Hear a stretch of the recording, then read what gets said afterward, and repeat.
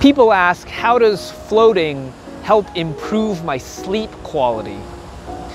Well, it's kind of like working out a muscle in your body. If you do bicep curls, you're gonna be able to carry bigger grocery bags.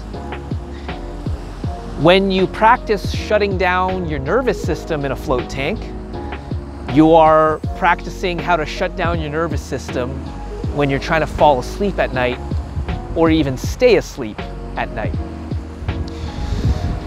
This is called activating your parasympathetic response, which is the opposite of your fight or flight response. That's the one that keeps you stressed, awake, anxious, alert. And your parasympathetic response is the one all about rest and digest, relaxation, sleep. And the more we train our nervous system to enter that relaxation state and get out of an alert state, the better we get at moving between these systems of rest or stress.